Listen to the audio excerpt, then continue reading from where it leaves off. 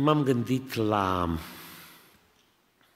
cuvântul pe care aș putea să îl rostesc din partea Domnului pentru dumneavoastră în seara aceasta. Și cred din toată inima, cred din toată inima că un credincios adevărat trebuie să treacă printr-un proces de purificare spirituală care durează toată viața. Când am intrat în viața de credință, își vrea să prezint puțin conceptul acesta al sfințeniei. Ce înseamnă sfințenie? Înseamnă să nu fie păcat în viața ta. Și pentru ca să ajungem să fim sfinți, intrăm în procesul sfințirii și sfințirea înseamnă să eliminăm în fiecare zi toate impuritățile spirituale pe care le demascăm, atât în comportamentul cât și în vorbirea noastră, în toate lucrurile care țin de viața noastră. Conceptul sfințirii este unul complex. El nu poate fi simplificat doar la nivelul unui cuvânt care să însemne, adică suntem buni uh, sau să fim buni. Uh, există trei dimensiuni ale sfințeniei. Uh, de multe ori încurcăm anumite versete biblice, le atribuim sfințeniei, dar nu sfințeniei în dimensiunea potrivită. Sfințenia mai întâi este un standard. Standardul sfințeniei noastre este Domnul Isus Hristos. Când noi vrem să ajungem la sfințenie, la ce model ne raportăm? Ne raportăm la Domnul Isus Hristos. Este foarte adevărat că Apostolul Pavel s-a dat pe sine ca exemplu și a spus călcați pe urmele mele, dar doar datorită faptului că Pavel călca pe urmele Domnului Isus Hristos. E foarte adevărat că noi trebuie să devenim părinți spirituali pentru cei care se nasc din nou și să-i conducem către acest ideal al sfințeniei și ei trebuie să vadă în noi chipul Domnului Isus Hristos. Ca asta se lamenta Pavel atunci când spunea simt iarăși durerile nașterii până când? Până va lua Hristos chip în voi.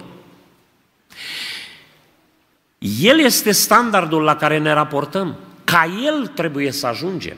Cine zice că rămâne în El, trebuie să trăiască și El cum a trăit Isus, spunea Apostolul Ioan în întâia epistolă. Acum, când noi ne pocăim, înainte să fi făcut vreo faptă bună, înainte să ne fi schimbat viața, că nașterea din nou e o lucrare tainică care se petrece în interior și abia după aceea îi se văd rezultatele. Noi suntem socotiți sfinți, socotiți neprihăniți prin credință. În ziua în care te-ai predat, în ziua în care te-ai întors la Dumnezeu, în mod instantaneu, Dumnezeu te vede neprihănit, te vede sfânt. Dar există a treia dimensiune a sfințeniei care se numește starea de sfințenie.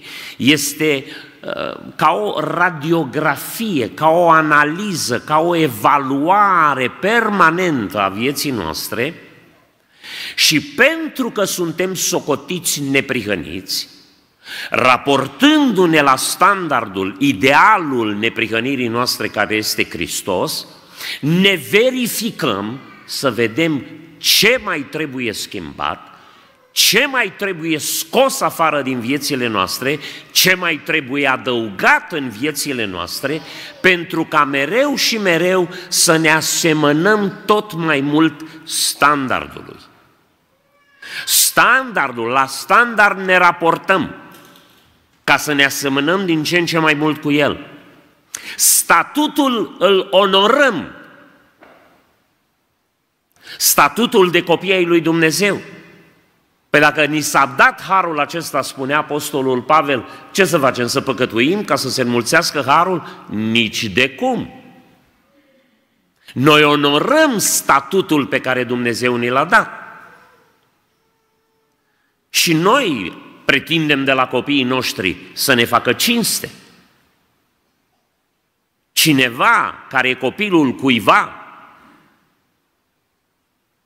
trebuie să onoreze acest statut, să onoreze numele, să cinstească numele părinților, să le aducă cinste și nu rușine. Ori noi suntem mai mult decât copiii unui om pe care trebuie să-l cinstim. Pavel spunea și dacă le-am dat cinstea cuvenită părinților noștri, cu atât mai mult lui Dumnezeu, care este Tatăl nostru, noi trebuie să-L onorăm pe El, noi trebuie să onorăm, să dovedim că suntem responsabili de statutul pe care ni l-a dat ca neprihăniți, ca sfinți. Unde noi trebuie să lucrăm este la starea noastră și mereu și mereu trebuie să scoatem afară lucruri pe care le vedem că nu se potrivesc adevărului, că nu se potrivesc standardului, că nu onorează statutul. Sau trebuie să adăugăm discipline spirituale în viața noastră care să ne ajute să ne sfințim. Am povestit și ori de câte ori vorbesc despre acest lucru, menționez că în urmă cu câțiva ani, în urma unei experiențe în care nu prea printr-o atitudine și o, așa față de o altă persoană care mi-a greșit, n-a făcut bine ce a făcut. Niciodată să nu vă duceți să-i reproșați ceva un, unui predicator imediat după ce se dă jos de la învoi. Dați-i o săptămână să se odihnească. Săriți la el imediat, spuneți, aia n-ai zis bine, aia n-ai făcut bine.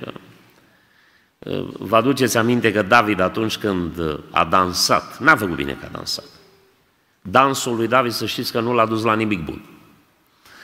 Și când a intrat în casă să-și binecuvinteze familia, dacă a aștepta Mical o zi, două, trei, până îi treca, trecea uh, dansul, bine ar fi făcut.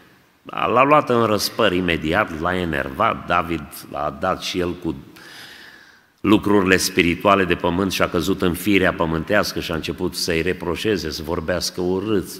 Au urmat episoade foarte triste în familia lui David după conflictul acesta cu Mical.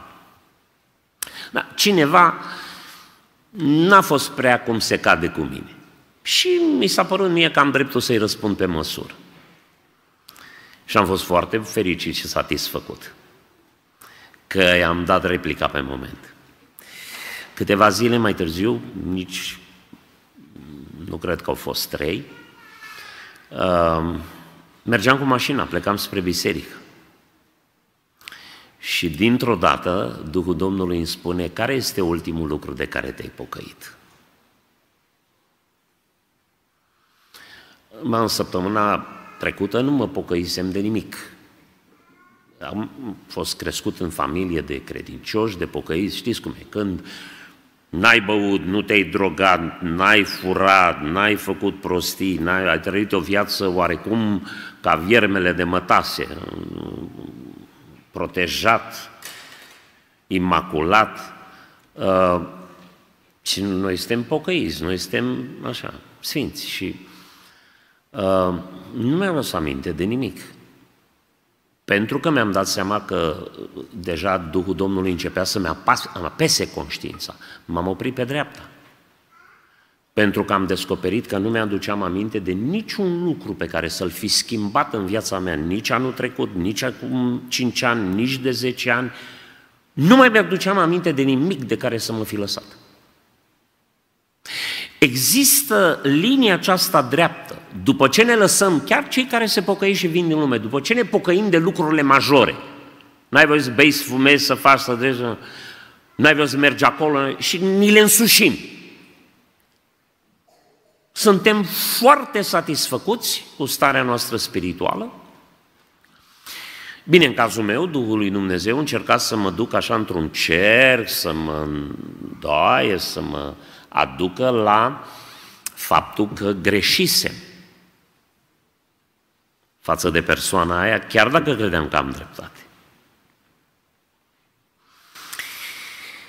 Și ăla a fost un lucru de care a trebuit să mă, să mă pocăiesc.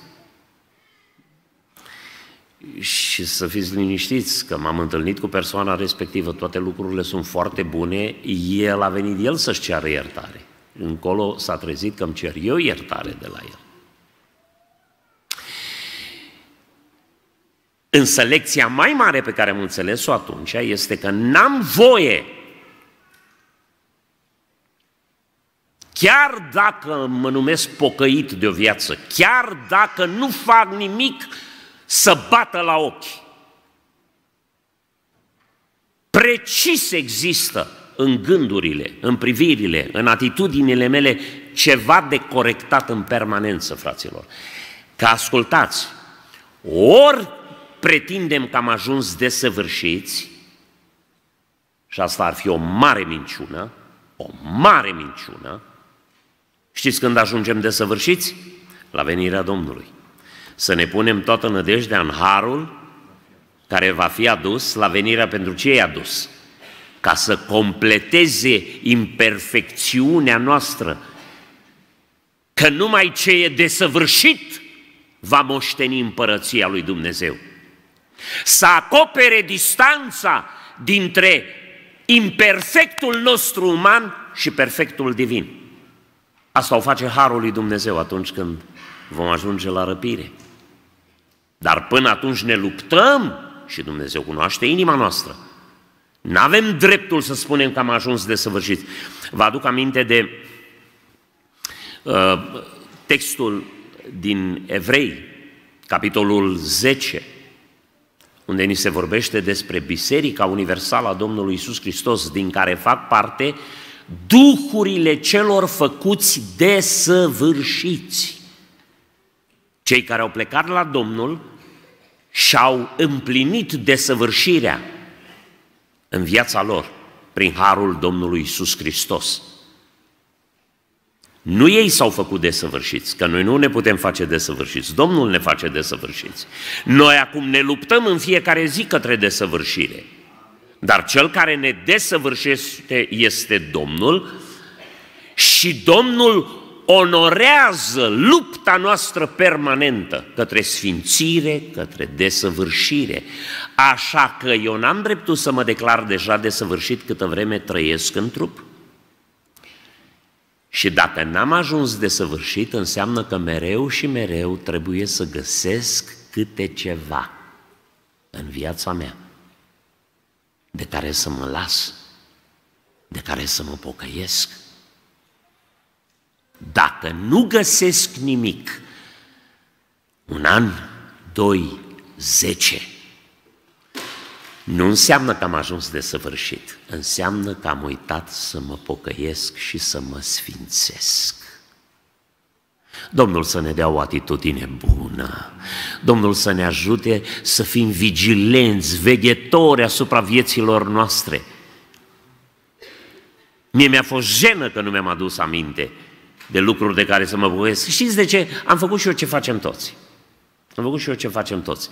Venim duminică dimineață la rugăciunea de mărturisire, așa că facem în fiecare duminică rugăciune de mărturisire și băgăm toate lucrurile la modul general într-un sac negru. Doamne, dacă am greșit cu ceva, foarte insultat este Domnul de expresia asta. Dacă ți-am greșit cu ceva. Ne mai rugăm și la general, iartă-ne pe toți.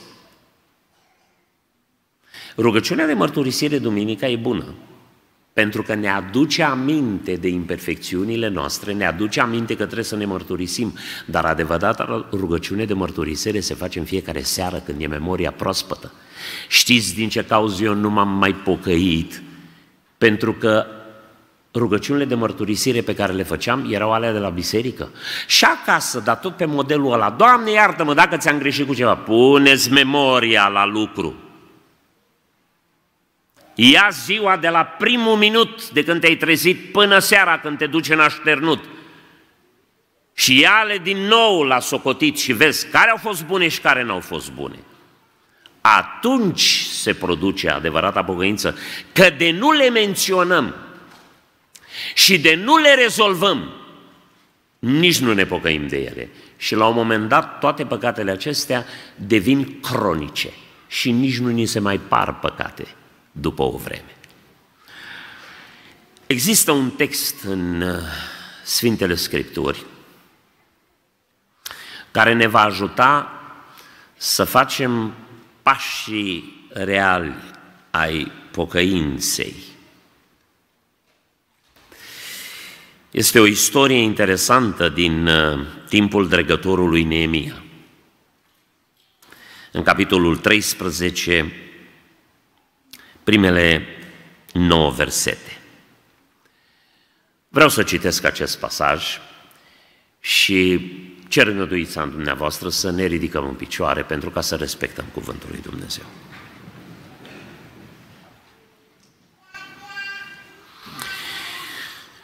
Neemia 13 cu 1. În vremea aceea s-a citit în fața poporului, în cartea lui Moise, și s-a găsit scris că Amonitul și Moabitul nu trebuiau să intre niciodată în adunarea lui Dumnezeu, pentru că nu veniseră înaintea copiilor lui Israel cu pâine și apă și pentru că tocmiseră împotriva lor cu preț de argint pe Balaam ca să-i blesteme. Dar Dumnezeul nostru a prefăcut blestemul în binecuvântare. Când au auzit legea, au deosebit din Israel pe toți străinii. Înainte de aceasta, preotul Eliashib, care era pus peste cămările casei Dumnezeului nostru și rudă cu Tobia, Pregătise pentru el o cămară mare unde puneau mai înainte darurile de mâncare, tămâia, uneltele, zeciuiala de grâu, din muși și din undelem, părțile rânduite pentru leviți, cântăreți și ușieri și darurile ridicate pentru preoți. Eu nu eram la Ierusalim când s-au petrecut toate acestea, căci mă întorsesem la împărat în al 32-lea an al lui Artaxerxe, împăratul Babilonului. La sfârșitul anului am căpătat de la împărat învoire să mă întorc la Ierusalim și am văzut răul pe care îl făcuse Eliashib, pregătind o cămară pentru Tobia în curțile casei lui Dumnezeu. Mi-a părut foarte rău și am aruncat afară din cămară toate lucrurile lui Tobia. Apoi am poruncit să se curețe odăile și am pus iarăși în ele uneltele casei lui Dumnezeu, darurile de mâncare și tămâia. Amin. Domnul să binecuvinteze propovăduirea, ascultarea și împlinirea Cuvântului Sfânt în viețile noastre. Amin. Vă invit să reocupați locurile. Mesajul este despre lucrurile lui Tobia, pentru că, de fapt, ca să ne sfințim, trebuie întotdeauna să facem curățenie în odăile ființei noastre și să identificăm și să scoatem afară lucrurile lui Tobia. Cine este Tobia? Atunci când uh, Nemia, fiind la curtea împăratului Artaxerse, paharnicul împăratului, într-o poziție foarte intimă, într-o legătură foarte apropiată cu cel mai mare împărat al vremii, cel mai mare imperiu al vremii respective,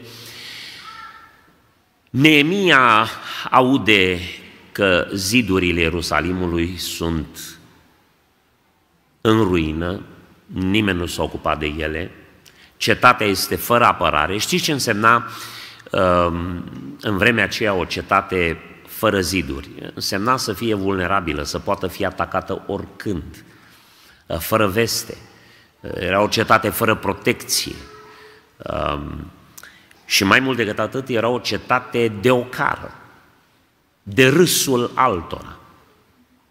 Um, acum știu că există în moda occidentală casele să nu aibă gard.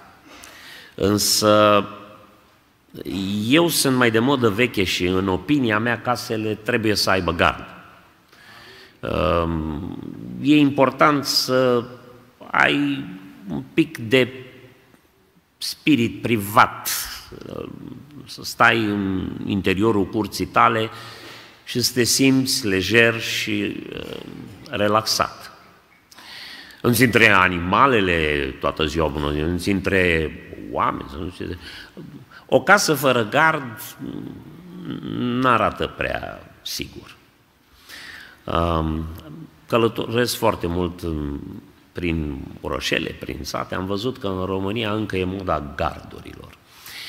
Uh, gândiți-vă într-un oraș sau într-un sat unde toată lumea are gard la casă, o casă care nu are gard. E de disprețul tuturor uh, celor din orașul sau din comuna respectivă și nu are gard la casă. Așa era Ierusalimul în vremea aceea. Era de ocara tuturor popoarelor. Și când Neemia a auzit lucrul acesta, s-a întristat cumplit. Pentru că interacționa cu împăratul în fiecare zi, avea o poziție de mare încredere. El bea din paharul împăratului, pentru ca nu cumva să fie băutura otrăvită.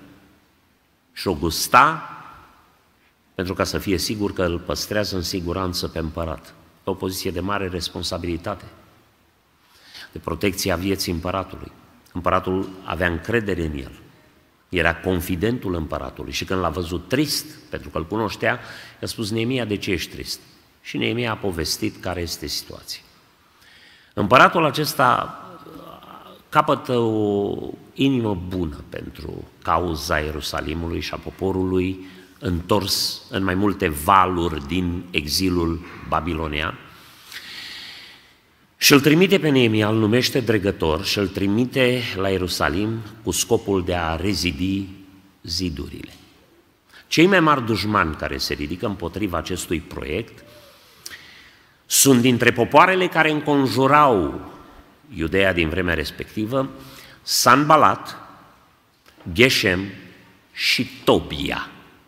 Ăștia sunt dușmanii acestui proiect.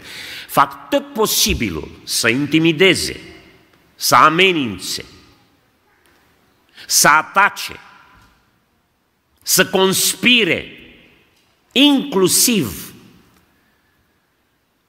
Fiți atenți cât de perfizi sunt oamenii ăștia.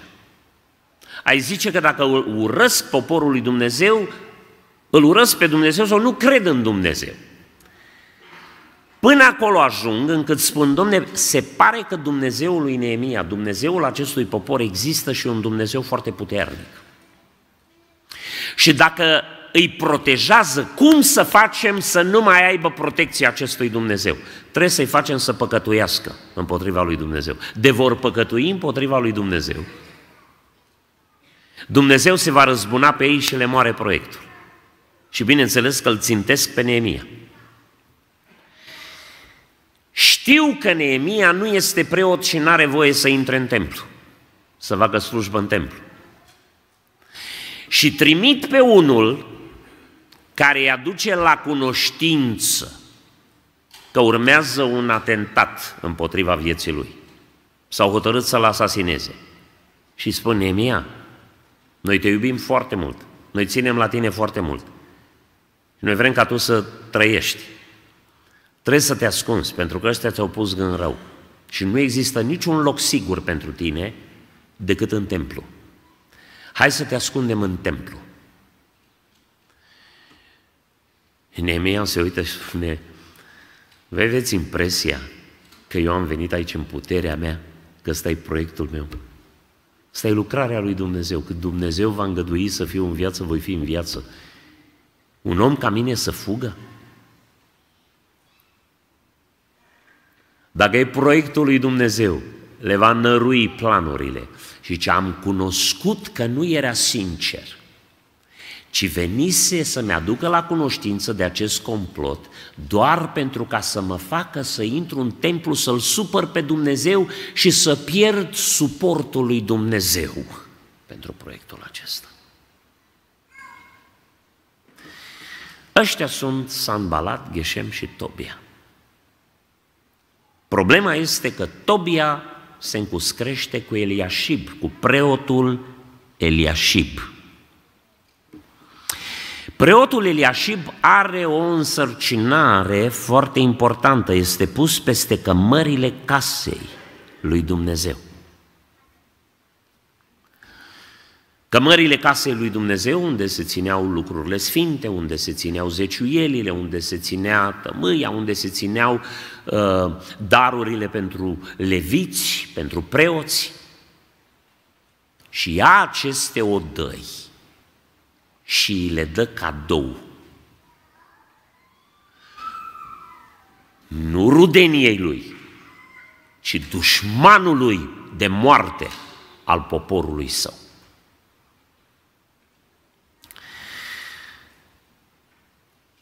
Tobiaș își instalează reședința la templu, în aceste odăi, își aduce boarfele acolo și dintr-o dată nu se mai adună zeciuieli, nu se mai adună resurse pentru casa lui Dumnezeu, preoții nu-și mai pot face slujba, leviții nu-și mai pot face slujba, pleacă să-și cumpere și ei livezi și ogoare și să-și facă case ca să poată supraviețui familiile lor. Și slujbele de la templu au de suferit din cauza acestui compromis. Și acum spune cuvântul lui Dumnezeu că Neemia capătă o învoire de rămpărat. El se dusese înapoi să-l slujească pe Artaxerxe. Și când capătă învoire, vine și acum haideți să urmăm acești câțiva pași ai restaurării. Când în viața noastră, când în familia noastră, când în bisericile noastre încep să apară lucrurile lui Tobia, boarfele lui Tobia. Ce trebuie să se întâmple? Primul lucru, versetul 7 din Nemia 13. Am văzut răul pe care îl făcuse Eliashib. Fratele Samuel mai devreme vorbea despre discernământul acesta care ne ajută să deosebim binele de rău. Probabil una dintre cele mai mari pagube din vremea noastră este că oamenii nu mai văd. Nu mai văd.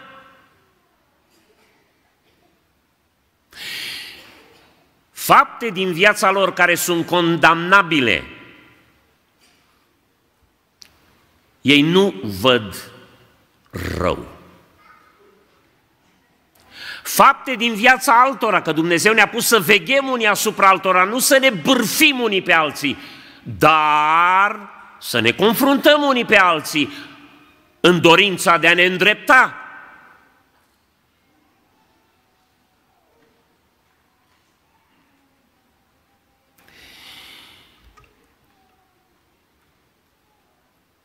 chiar în bisericile noastre. Sunt oameni care se bagă cu capul în nisip și nu vor să știe și să vadă nimic. Eu nu încurajez aici curiozitatea, spiritul acesta agresiv de a te băga în viața tuturor, tuturor de a ști totul despre toți. Însă, dragii mei, este mare păcat să nu vezi răul. Și aș vrea să vă spun de ce de multe ori nu vedem răul.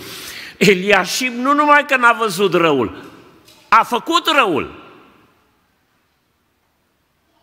Și dacă l-ai fi întrebat, Eliașib, de ce ai dat odăile astea lui Tobia? Dar și ce rău cu asta? Hai să ne facem prieteni cu ei. Că uite, se pare că o dăm la pace. Acum avem ziduri, acum nu mai au ce dărâma, nu mai au ce face, nu ne mai pot opri. Am, am dat-o la pace. Și știți că prietenia cu lumea este vrăjmășie cu Dumnezeu. Știți când începem să nu mai vedem răul? Când răul se întâmplă în viețile noastre sau a celor care sunt aproape de noi.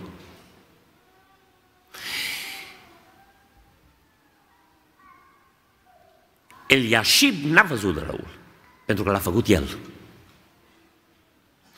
Pentru că Tobia era rudă cu el. Cei din Israel n-au văzut răul. De ce? Ascultați versetul 1. În vremea aceea s-a citit în fața poporului în cartea lui Moise și s-a găsit scris că Amonitul și Moabitul nu trebuiau să intre niciodată în adunarea lui Dumnezeu.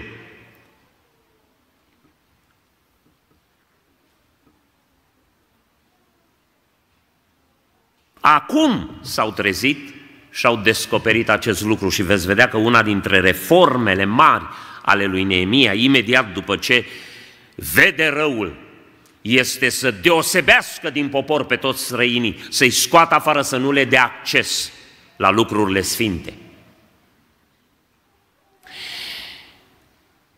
Și dacă pe undeva poate tot am mai dat de bine când am încercat să găsim răul din viața altora. Frați și surori, mai vedem răul din viața noastră? Acum, care sunt borfele lui Tobia? Că probabil cineva ar zice, nu, ce asta e o firmă de îmbrăcăminte, ce e, ce asta Tobia? Care este înțelesul practic al lucrurilor, lucrurilor lui Tobia? Lucrurile lui Tobia sunt în firea pământească, mai întâi în mod lăuntric, în gânduri, în vorbe, în pofte, în fapte. Lucrurile lui Tobia se pot găsi în garderoba noastră, în dulapul nostru de haine, în spațiul virtual,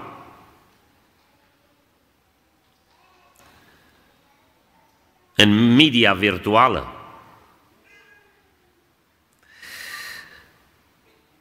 lucrurile care intră în mintea și în inima noastră prin televizor și prin media socială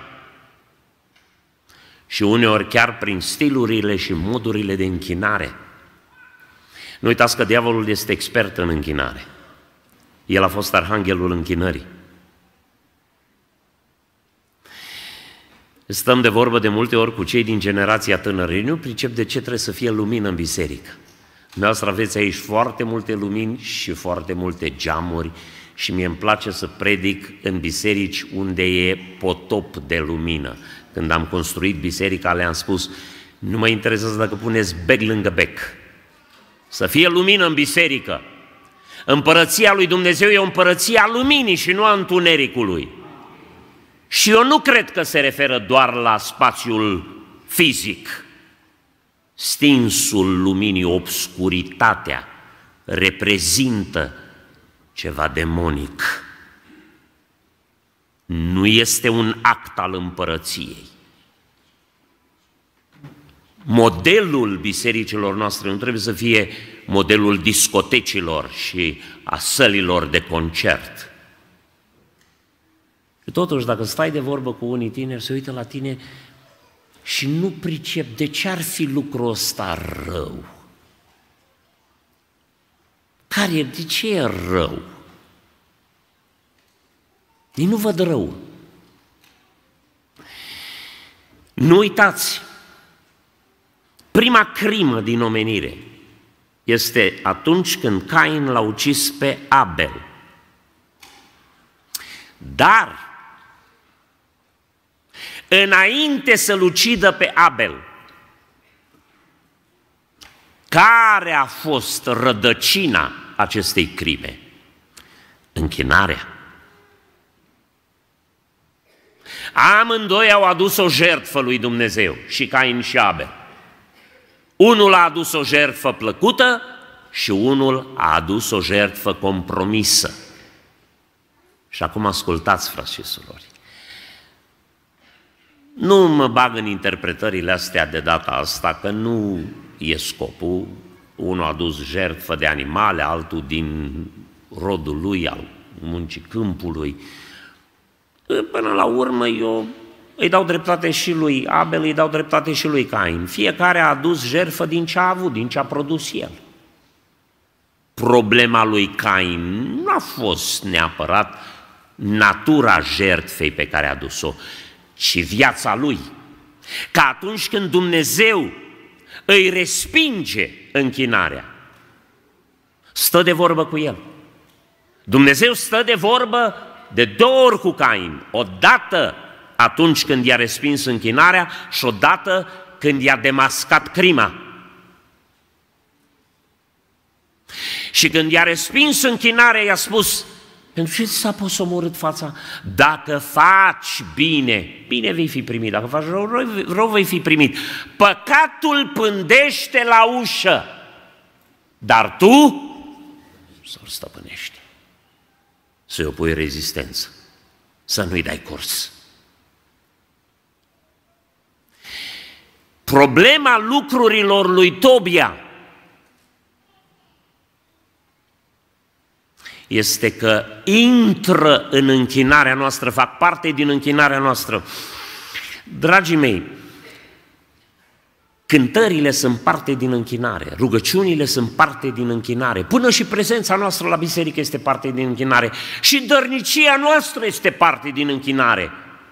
Dar parte din închinare este ce facem și luni, și marți, și miercuri, și joi, și vineri, și ce facem la locul de muncă, și ce facem la școală, și ce facem în timp ce conducem mașina, și ce facem când umblăm pe stradă, și când mergem la cumpărături.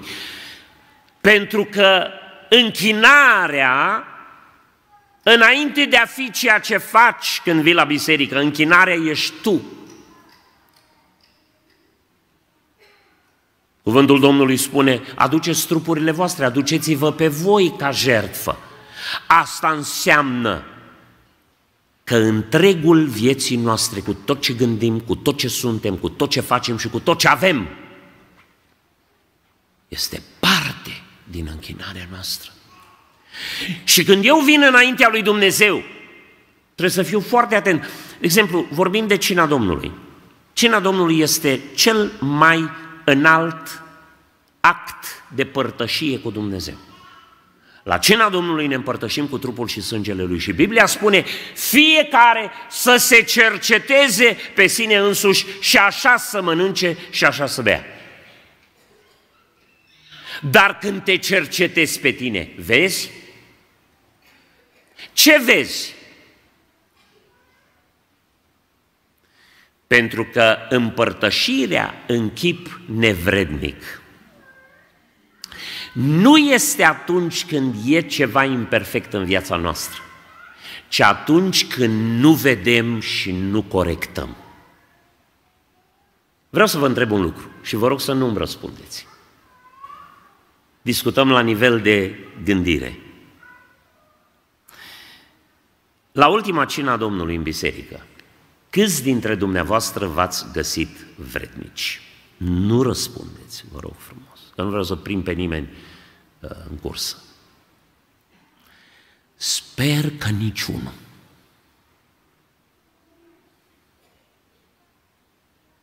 Dacă cineva s-a găsit vrednic, mă rog să nu se fie împărtășit. Pentru că niciodată nu vom fi vrednici prin puterile noastre și prin viața noastră. Dar întotdeauna vom fi vrednici prin vrednicia Domnului Isus Hristos. Și ca să ne putem împărtăși, Dumnezeu nu ne cere să fim perfecți. Dumnezeu ne cere să vedem. Să iau viața mea la deșerat să-i dau paginile filă cu filă, să văd răul, că dacă nu-l văd, și continui mai departe, să trăiesc ca și când aș fi desăvârșit, ca și când aș fi vrednic, dezonorez jertfa Domnului Isus Hristos. Care este rostul împărtășirii? Rostul împărtășirii într-una din dimensiunile ei este să devenim tot timpul vigilenți și pregătiți pentru întâlnirea cu Domnul. Să ne sfințim. Or, nevrednicia noastră, prin faptul că în mod superficial ne apropiem de trupul și sângele Domnului, fără să ne cercetăm, fără să ne găsim imperfecțiunile, este că mulți sunt bolnavi și nu toți sunt bolnavi din cauza asta. Nu toți. Oamenii se îmbolnăvesc din multe motive. Știți care este cel mai comun motiv pentru care ne îmbolnăvim? Suntem oameni. De aia, pentru că suntem oameni. Poți să fii Sfântul Sfinților. Într-o zi o să te îmbolnăvești de o boală de care vei muri, exact ca Elisei.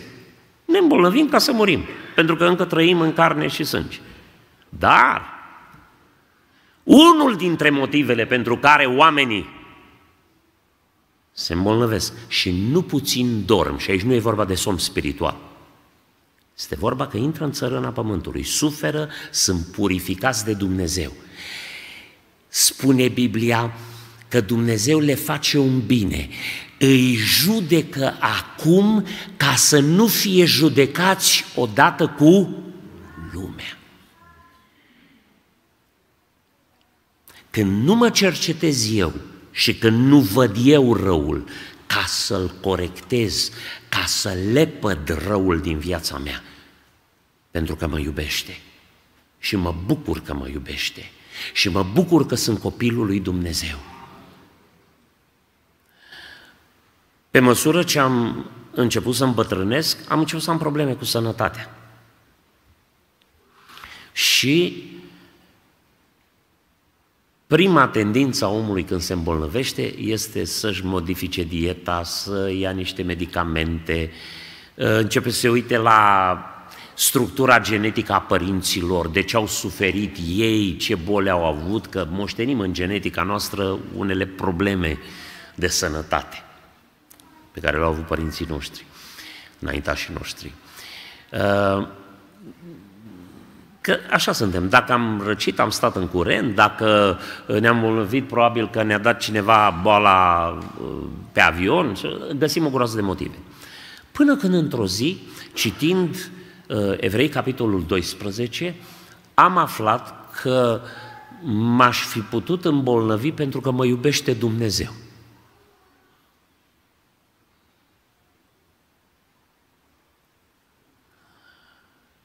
Când am descoperit lucrul ăsta, prima dată m-am bucurat. Dar pe urmă mi-am dat seama că mă iubește Dumnezeu și vrea să mă îndrepte dacă n-am făcut-o eu de bunăvoie. Și ce înseamnă asta, frați și surori? Înseamnă că zice acolo, dacă ne-am judecat, Dar dacă nu ne judecăm, Dumnezeu ne judecă acum ca să nu fim judecați odată cu lumea. Cu alte cuvinte, printr-o judecată treci. Ori te judești tu, ori te judecă Dumnezeu acum, ori, Doamne ferește, să ajungem la judecata de apoi. Așa că în seara aceasta, uitându-mă la viața mea, uitându-te la viața ta, ce ziceți? N-ar fi bine să ne deschidă Duhul Sfânt ok și să vedem răul. Am văzut răul. Nemia 13 cu 8. Mi-a părut foarte rău. Știți că trebuie să ne pară rău. Și de răul din viața noastră și de răul din viața altora de răul care se întâmplă în jurul nostru. Am observat că oamenii se bucură de rău. Să știți că dragostea nu se bucură de rău, se bucură de bine. Răul trebuie să ne întristeze. Vă aduc aminte de conversația dintre Pavel și Corinteni. În prima epistolă le vorbește despre păcătosul din Corint. Un om care a comis niște fapte, spunea Pavel, nu se pomenesc nici la cei din lume. Și zice, voi, în loc să vă pară rău, în loc să judecați, În loc să fi dat afară răul din mijlocul vostru, v-ați fălit, v-ați mândrit. Fiți atenți, frați și surori, atât la nivelul vieții personale, cât și la nivel de familie, cât și la nivel de biserică, în toate dimensiunile existenței noastre spirituale și a relației noastre cu Dumnezeu. Nu dispar instantaneu cercetările spirituale, exaltările spirituale, binecuvântările spirituale, darurile spirituale, pe măsură ce apare răul, mai întâi în formele lui discrete și subtile și pe urmă crescând. Și uneori venim la biserică și suntem cercetați. Vărsăm lacrimi, ne bucurăm, avem duh de rugăciune și concluzia noastră este că stăm bine. Și ne putem permite să ignorăm răul din viața noastră, păcatul secret care îți domină viața. Să ne ferească Dumnezeu uneori. Nu ne sunt afectate nici cântările, nici predicile nici slujirea noastră. Rămânem la fel de apreciați, la fel de în prima linie. Și considerăm că Dumnezeu este cu noi. Dumnezeu nu abandonează pe nimeni dintr-o dată. Vă garantez că Eliashib a continuat să facă slujbă la templu, a continuat să fie un om proeminent. Că până și oamenii din lume, pentru că Dumnezeu nu aduce repede sau imediat la îndeplinire hotărârea de judecată, de aceea inima oamenilor este plină de răutate. Nu ai făcut păcatul, te uiți să vezi dacă vine trăsnetul. N-a venit, te gândești, bă, poate că nu-i păcat, poate că Dumnezeu îngăduie treaba. A, cum zicea odată un predicator, Dumnezeu să-l ierte, uh, fraților, stați liniștiți că și așa n-are Dumnezeu alții mai buni decât noi. Ei. Ei. În momentul în care Pavel le scrie corintenilor și îi condamnă pentru toleranța lor, pentru indulgența de care au dat dovadă și față de stricat și față de ei, Las, domne, e adevărat, apă, ce să facem? Pădure fără uscături nu există, da, uite că Domnul botează cu Duhul Sfânt, uite că avem daruri spirituale, avem proroci, avem predicatori, avem una, avem alta, toate lucrurile bune. Inclusiv în familia noastră, uite că Dumnezeu ne binecuvintează, uite că Dumnezeu ne dă bunuri, resurse, câștigăm bine, ne-am făcut casă, ne-am Dumnezeu ni le-a dat, înseamnă că stăm bine cu Dumnezeu. Asta este o cursă periculoasă. Și le spune Pavel în a doua epistolă, e, așa da, știu că v-am întristat prin cuvintele mele. Știu că am produs o agonie profundă în sufletele voastre. Însă Duhul meu a fost alături de Duhul vostru atunci când ați dat afară și pe Tobia și lucrurile lui Tobia din mijlocul vostru și deși nu sunt fericit că ați fost întristați, dar mă bucur că v-am întristat. Pentru că există două feluri de întristări. Este întristarea care prin pocăință duce la viață și este întristarea care nu e după voia lui Dumnezeu, care te face să te împotrivești voii lui Dumnezeu, care te face să te împotrivești mustrării lui Dumnezeu și acea întristare duce la moarte. Dragii mei, ori de câte ori vedem în viața noastră un lucru rău, să nu sărim să-l acoperim, să nu sărim să-l justificăm. Da, ce, numai eu, toți. Mi-au aminte pe vremuri, uh, nu știu, la dumneavoastră, în biserica unde am crescut, în București, era păcat să ai televizor. Um, și până când unul dintre predicatorii proeminenți din biserică, într-o predică, ne-a povestit cum a văzut el un film cu Napoleon, istoric. Și a povestit câte ceva despre viața lui Napoleon. Știți că și-au cumpărat televizor în săptămâna următoare? O sumedenie. Știți de ce? Pentru care fratele care e predicator. Care... Noi.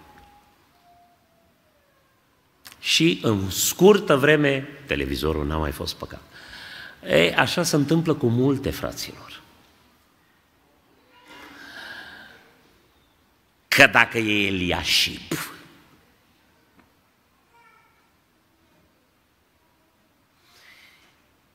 Iată de ce.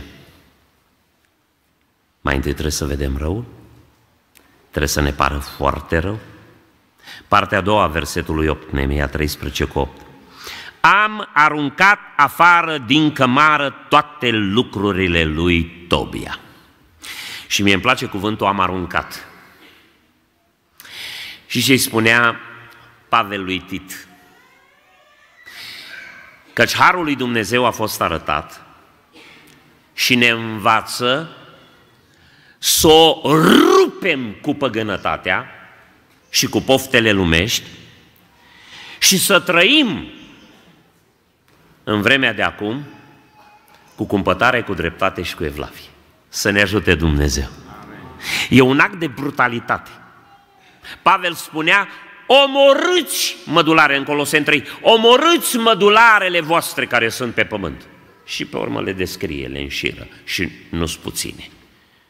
Unele din ele stăm bine că nu le avem. Interesant, inima omului nespus de înșelătoare și de desnădăjduit de rea. Când citim lista aia, automat, pentru că nu le facem pe alea urâte și mari, ne dăm dreptul să le facem pe alea mici și de catifea. Să trebuie să am și eu o slăbiciune, un păcat. Dragii mei, dacă nu comitem acest act de brutalitate împotriva firii pământești, vedeți, toți strigă împotriva legii și spun, domne, legea e opresivă, legea e apăsătoare, legea, harul, harul, harul. Ascultați, Legea, ce, fare, ce vrea să facă cu firea pământească? Să o lege în lanțuri. Știți ce face harul cu firea pământească? O răstignește. Firii pământești îi e mai rău sub har decât sub lege.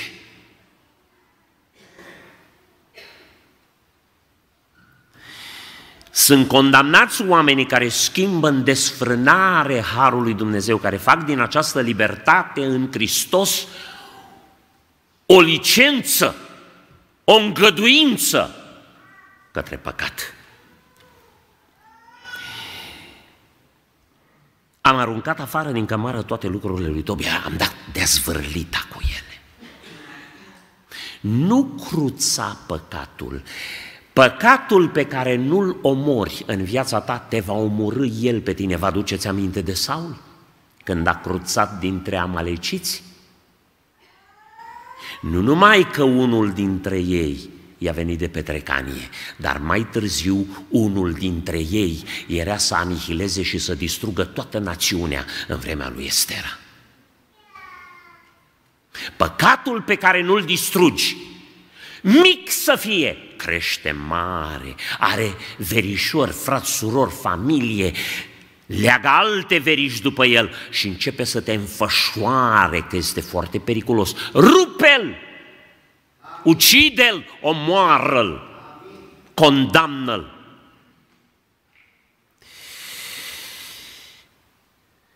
Apoi, versetul 9. Apoi am poruncit să se curățească odăile. Vezi, după ce stau multă vreme borfele lui Tobia în odăile alea. Miroase a Tobia odaia aia. Apartamentul ăla miroase a Tobia. Și trebuie să intervină o curățire prin cuvânt, prin Duhul Sfânt, prin subordonarea față de autoritatea unui om matur în credință.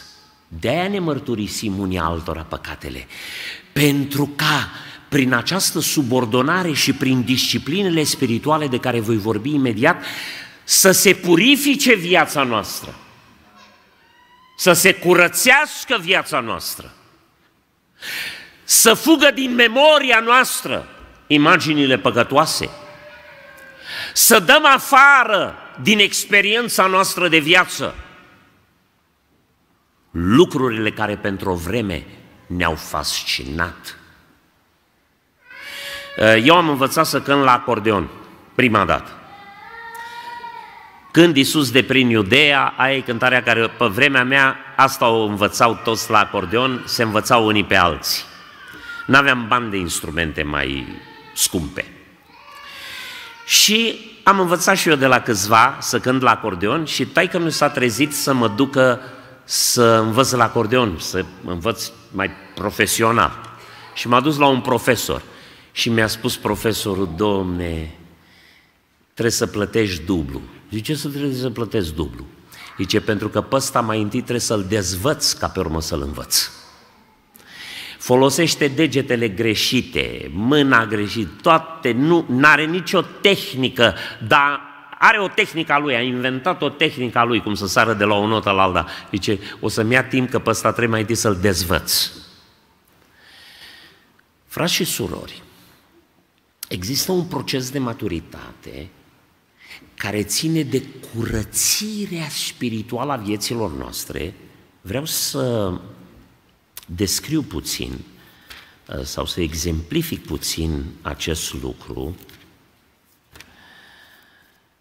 pentru că lucrurile nu sunt chiar așa de simple cum le facem noi. Este o luptă, trebuie să ne dăm toate silințele, trebuie să ne angajăm plenar în lupta aceasta împotriva păcatului.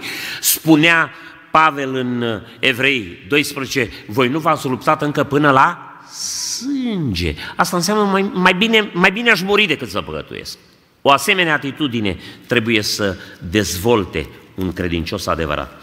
Și Cuvântul lui Dumnezeu în Evrei, în capitolul 5, de la versetul 11, spune așa.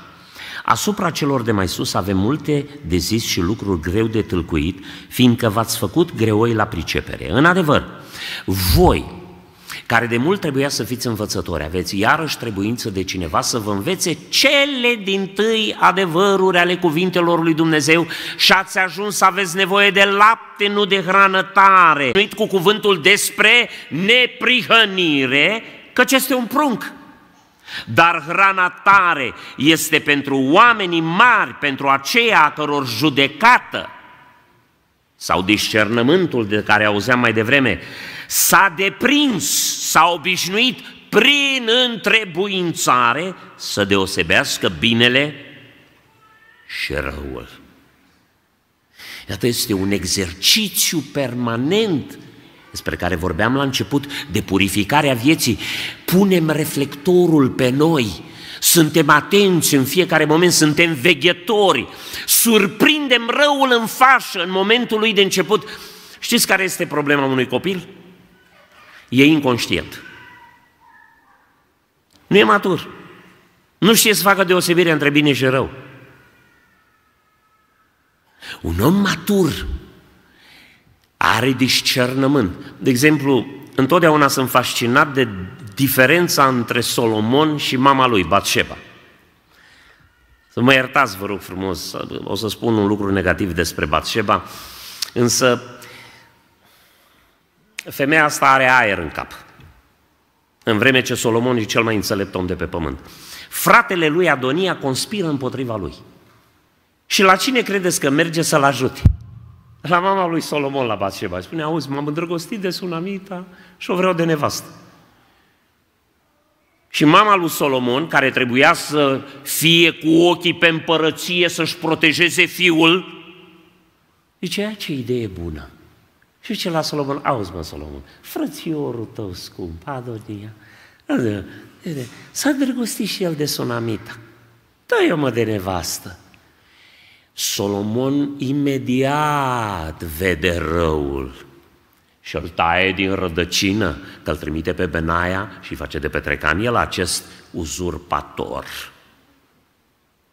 Și zice, auzi mamă, dacă tot ești așa de binevoitoare și de drăguță, zice, nu cer și tronul pentru Adonia, că e fratele meu mai mare.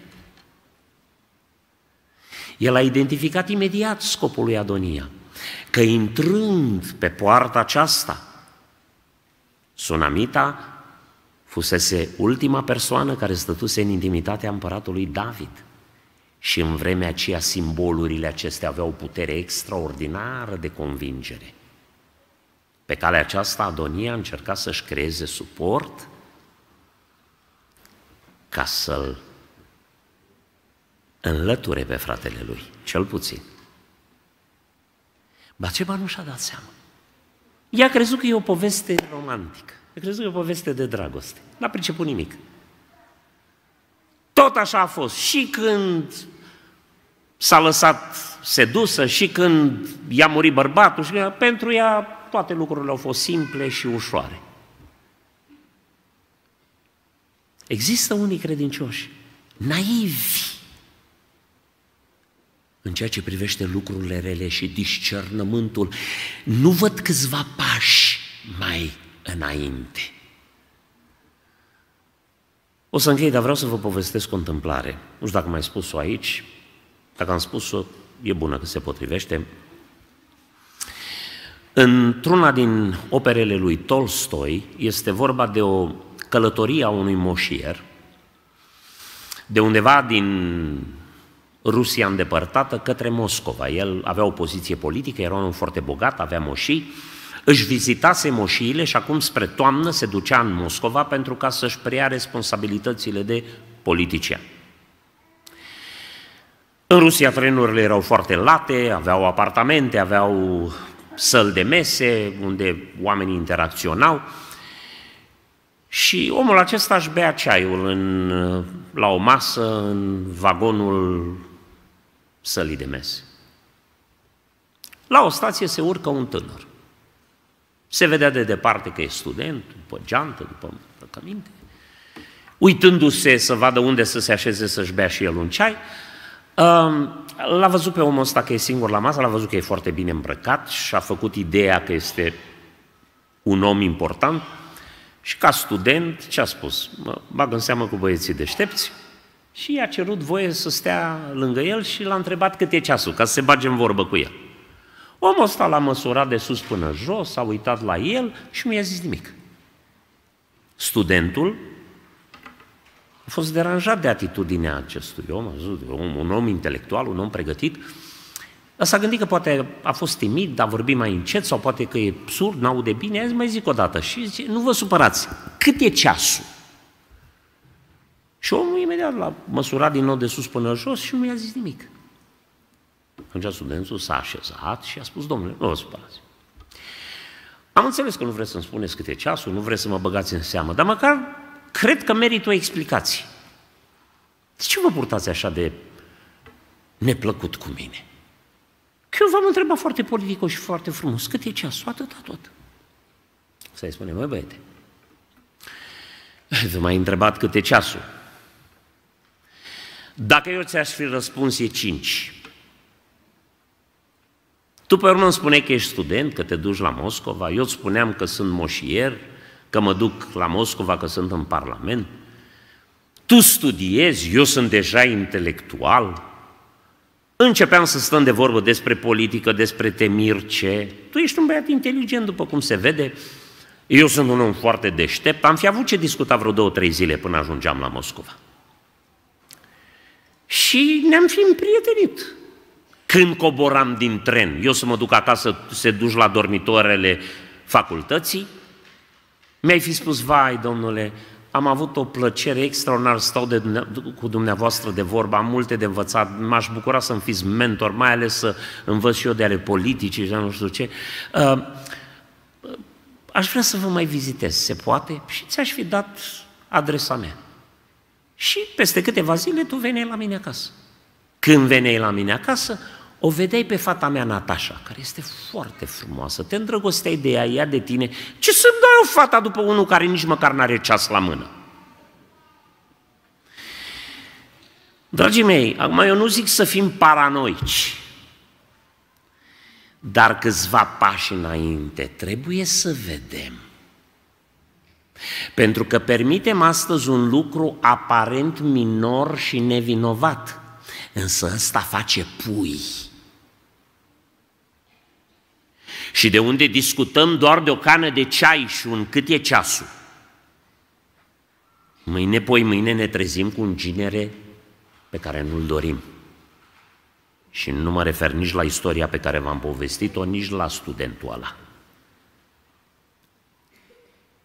Pentru că păcatul pândește la ușe și nu e îmbrăcat în păcat, e îmbrăcat în plăcere. Plăcerile de o clipă ale păcatului. Când începi să-i dai cojile la o parte, te trezești prea târziu, că te-ai otrăvit.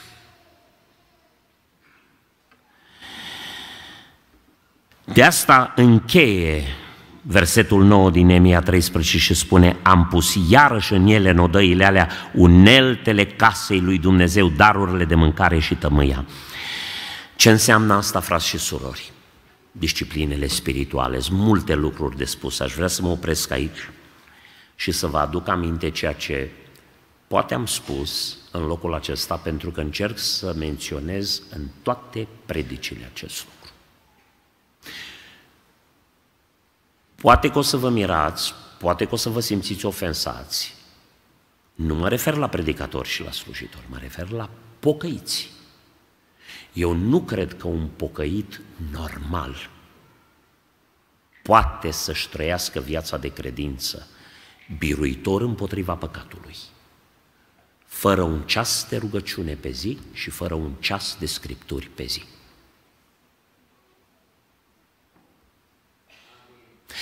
Pentru că în vremurile noastre stau la un film două, trei ore și nu li se pare că a fost prea mult. Se uită la meciuri și la sporturi cu orele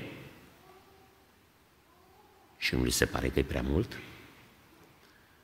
N-am nicio problemă cu hobby-urile. La unii le place să pescuiască, la alții le place să meargă în mijlocul naturii, să facă temir ce, vânătoare, mă rog, treaba lor. Nu mă deranjează. Dar poate să stea câte o zi întreagă. Numai când vorbim de rugăciune și de scripturi, crăpăm când auzim de două ore pe zi. Dragii mei, nu-i prea mult. Mă întorc la ce spunea fratele Samuel. La un moment dat s-ar putea să devină și plăcut. N-am să uit niciodată un profesor de matematică din uh, liceu. Ah, uh, era un om foarte fain, avea un pic sărit ceva pentru că uh, la cutremurul din 1977 fiul lui era împreună cu Logodnica și cu familia ei într-un bloc care a căzut. Și s-a dus și a stat vreo două zile lângă bloc și a văzut cum l-au scos mort de acolo, din dărâmături. Și omul ăsta a experimentat o tragedie și o traumă teribilă în viața lui. Dragostea vieții lui a rămas matematică. Adică ce noi nu puteam suferi. Când mergeam la ora de matematică, mai ales eu că am fost mai mult pe partea asta umanelor, științele reale nu prea m-au fascinat niciodată, nu le-am priceput și nici n-am încercat. Însă aș vrea să vă explic ce înseamnă când cuiva îi place ceva. Rezolva câte o problemă pe tablă. Era mai mic de statură și ca să ajungă sus sărea, ne amuza, sărea, umplea tabla de formule și de calcule. Era obsedat de matematică. Și când termina tabla, se dădea puțin mai departe, se uita la toată tabla Și când dădea odată cu creta în tablă, credeam că o sparge. Și zicea, mă, ce frumos! Măi, ce frumos! Iubea matematica, se delecta matematica. Vreau să vă spun un lucru. Eu n-am să zic să dați cu cretă într-o tablă, nici să săriți în sus, nici să... Dar ce părere aveți ca toți pocăiții să citească un pasaj din Scriptură, să înțeleagă înțelesul și să zică, mai ce frumos! Să stea pe genunchi înaintea lui Dumnezeu, păi nu poate să stea o oră dacă nu are listă de rugăciune. Trebuie să ai listă de rugăciune. Ca să-ți aduci aminte, să te rogi pentru frații bolnavi, lista de rugăciune trebuie să stea numai pe monitoarele bisericii, să stea pe lista ta de rugăciune. Să te rogi pe îndelete și pe urmă când te ridici, mi-aduc aminte de mama, o oră se ruga de la ora 9 la 10, că de a luat-o Domnul la 10 fără 10. În timpul ei de rugăciune atunci a venit și a luat-o. Și când ieșea din odaie, ștergându-se la ochi, după o oră, la o dată am descoperit care și-a uitat lista de rugăciune pe pat, acolo unde stătea, și când m-am dus am văzut că m-am citit lista de rugăciune. Ieșea, era atât de fericită, de răcorită, îi crescuseră deja aripi, zbura prin casă, făcea curățenie, gătea mâncare și cânta. Fals, dar cânta. Toată ziua. Eu mă uitam, spuneam, ce fericită e! Știți de ce suntem acri, nemulțumiți, neîmpliniți, frustrați, doborâți, înfrânți? De ce ne târâm? Pentru că nu ne rugăm și pentru că nu citim Scripturile și sunt și alte discipline spirituale de viață pe care trebuie să le aducem înapoi după ce am curățit odăile. Venim la biserică și toate ni se pară o povară. De asta de multe ori întârziem. Ora de rugăciune e prea lungă. Predicile sunt prea lungi, serviciile sunt prea lungi. Numai la cumpărături putem să stăm o zi întreagă și nu ne ajunge. Frați și surori, noi suntem în drum spre împărăția lui Dumnezeu și Dumnezeu nu va duce în împărăția lui oameni care vor trebui să îi se închine și să îi slujească o veșnicie moment de moment. Unora care se plictisesc și nu sunt în stare să cerceteze scripturile și să roage câte un ceas. Că în Ghețimane asta le-a spus la ucenici, ce un ceas n-ați putut să vegheați împreună cu mine în rugăciune. Vegheați și rugați-vă ca să nu cădeți în ispită. Și cum scripturile nu s-au certat niciodată cu rugăciunea și dacă rugăciunea trebuie să fie neîncetat și scripturile la timp și ne la timp, dați-le câte o oră la fiecare și veți vedea ceva extraordinar. O să vă placă de minune. Abia o să așteptați. Și niciodată nu vă va mai trebui să vă înghesuiți în odăile inimii lucrurile lui Tobia îmbâxit urâte, murdare, stricate, rău mirositoare și urâte, urâte, urâte. Dumnezeu să ne ajute să facem curățenie în viețile noastre. Amin.